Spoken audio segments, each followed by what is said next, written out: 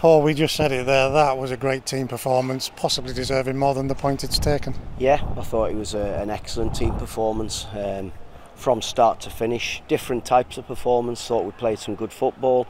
Thought we defended well. Um, it's really hard. It's really hard to uh,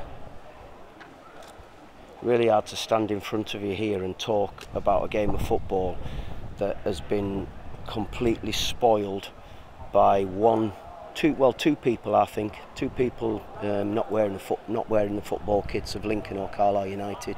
Um, some of the decisions today are absolutely incredible. Um, there's a penalty first half. Their director of football has actually said to me coming off the pitch, it, it's an absolute stonewall penalty. Um, he's just said to me at the end of the game there, um, and it is. There's, there's no, I, I don't get it. I don't get. I just don't get it. And then Joe Garner gets smashed trying to make a run into the box, and because he appeals, he gets a yellow card. And the, and the referee's laughing with me at the start of the game about what a ridiculous yellow card Joe Garner picked up for celebrating with the fans when he scored the second goal against Shrewsbury the other week. Mm, who's laughing now? You know, it's um, nah. I, I'm not going to talk about his performance because it's. Um, I'll, I'll get myself in trouble again. But it's, it's spoiled the game. We should have been 2 0 up there. Well, we shouldn't, no. We should have had an opportunity to be 2 0 up. Um, and it's been taken away from us. And we've had a, a, a momentary lapse where we've not pressed to go and get close to the ball where they've equalised. Um, that one's not the referee's fault. Um, that's ours. We didn't, we just, for that moment, we didn't do our job properly. We didn't go and press the ball, which we did really well.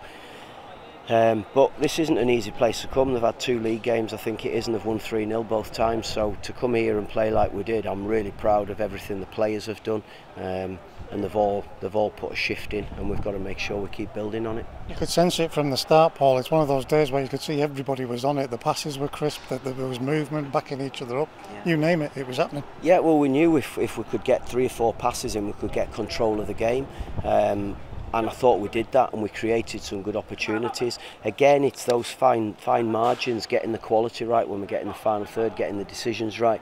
We've probably had three or four shots from 20, 25 yards that have trickled into the goal where maybe we could have had an extra pass or maybe we could have had just put our foot through it and gone for, for power as opposed to, to trying to shape shots in. Um, we've done a lot of good things today and it's uh, it's something that we've got to keep building on we've got to keep improving. I think the training this week has has been a step up in levels the way they've gone about it and I've just said in there that we have to keep doing that. You know we're we're, we're starting to find our feet at this level. Um, we're still not there yet, but we've we've come a long way since that first game of the season, and we've just got to keep keep moving forward. Part of finding your feet is getting the goal when you're on top, as we were, and that's starting to happen for us as well. Yeah, it is. Yeah, I mean we had good delivery again from a set play, um, and Luke gets across the first man, which is what his role is.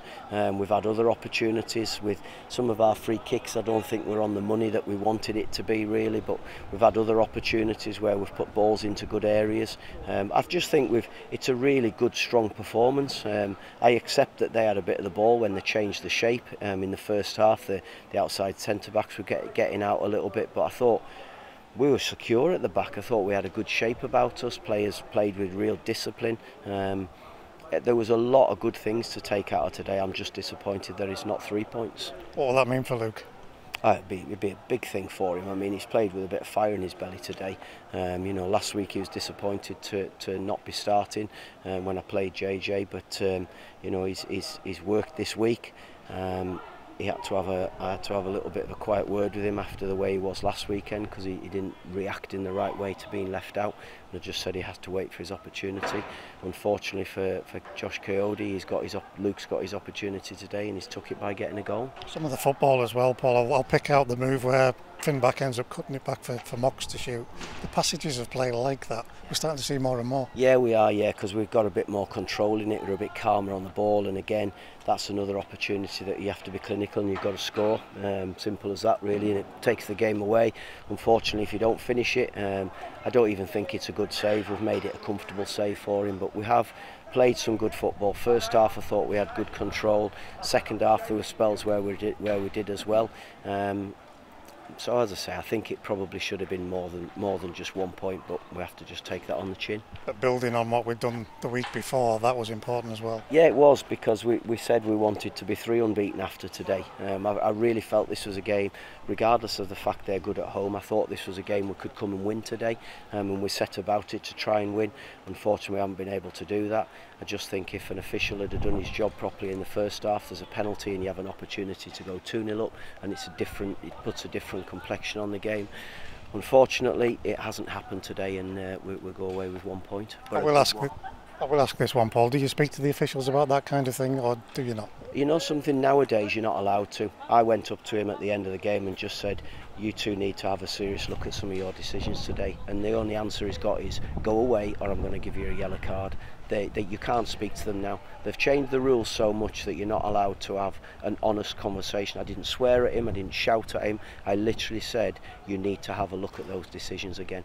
Um, and I honestly think he'll be embarrassed when he has a look. When he looks at that penalty decision, I think he'll be embarrassed. I really do because um, for me that's quite a straightforward decision. Um, I really do. I don't, I don't don't see anything. There's a one at the end where he gives a corner when it's either a free kick or a, or a goal kick. It's the only decision that's not the right one. It's I don't get it. I just don't get it. I really don't. And some of the yellow cards that we've got, um, ah, it's just easy. It's easy for them to do it. It's easy for them to threaten you with a yellow card. And um, referees know I, I don't. I'm not foul and abusive to them. I don't rant at them. Um, but his only his only thing he could say to me is go away or you get a yellow card. So you waste your breath with him, to be honest with you.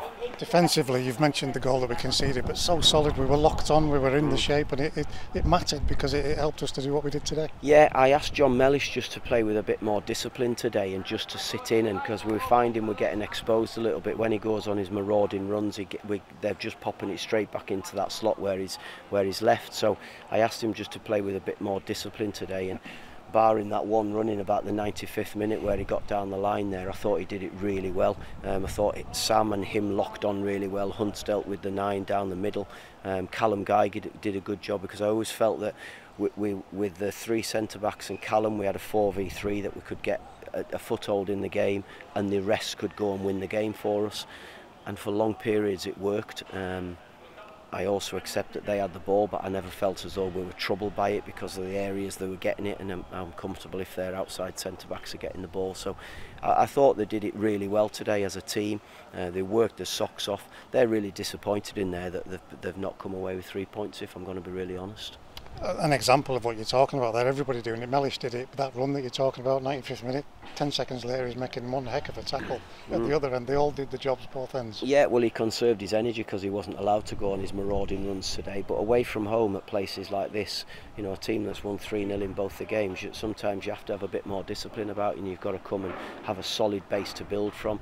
Um, and I thought we had that today. Um, and then we've got players who are in those forward areas, whether it's starters or coming off the bench, who are really effective, who can cause problems. Callum Guy, 150 appearances for the club, and he was he was full-blooded as well. Oh, he was. He was excellent, Callum. Yeah, he's uh, he's put blocks in. He's he got on the ball and moved the ball for us and started a lot of things off.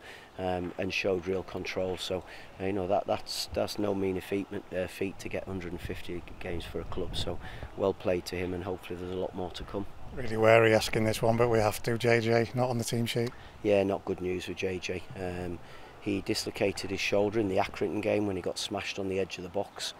Uh, we think what must have happened is he rolled, he rolled over, he popped it out, and it popped back in in a similar sort of movement. Um, he had it taped up, and he said he was fine, he'd be okay with tape, and then it just got worse. So we went for a scan. Uh, he's torn um, a muscle in the shoulder, um, which needs surgery. So he's having surgery on the 26th of September and we're expecting him to be out for 12 weeks probably um, so it's a huge blow a massive blow for us.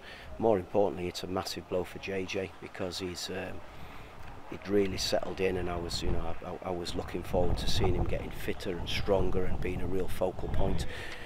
The truth of it is now it opens the door for somebody else and this is where Ryan Edmondson came back onto the bench today. Uh, Luke Plange started and got his goal and um, while JJ's out everybody's got to come in and do the job.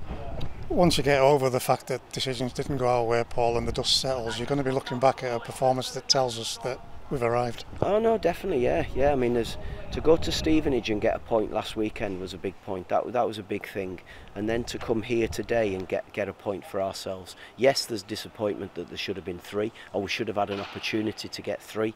Um, but it, there's there's things that are going really well, things that we're building on, and we've just got to keep trying to be positive. 645 didn't show up. Ah, they were magnificent, weren't they? I knew it from the start. When I came out for the start of the game, they were outstanding. Um, and it's always nice to go and applaud them at the end when you've had something. It would have been even better if we were applauding them on the back of a win. Big club coming to Brunton Park next week, a club that you know very, very well. But something to look forward to. Yeah, of course it is. Yeah, they're all all games at this level are games to look forward to. Um, we're a good club as well. So, you know, we've got to make sure we're a good club on the day. We've got to do it properly. We know there's going to be an incredible crowd there, um, away fans and home fans. Um, we've just got to go and continue the good stuff that we've been doing in these last three or four games and hope that we can keep building. Paul, thank you.